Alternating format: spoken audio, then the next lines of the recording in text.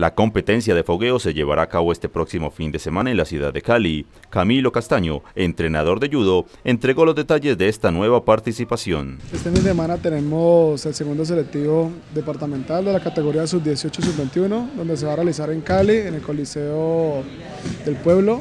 Vamos a llevar nueve deportistas y vamos a llevar un grupo de catas. esta vamos a participar con catas, tenemos una profesora de catas y vamos con todo a mejorar el rendimiento que tuvimos en el primer selectivo. Eh, ¿En qué detalles ha hecho usted énfasis para obviamente mejorar de lo que fue la primera participación? Hemos mejorado más la parte físico-técnica y la táctica para a la hora de competir, ganar. Profe, ahorita estaba haciendo con los muchachos unos ejercicios. ¿Cuál es el objetivo con esos ejercicios de cara a esa competencia?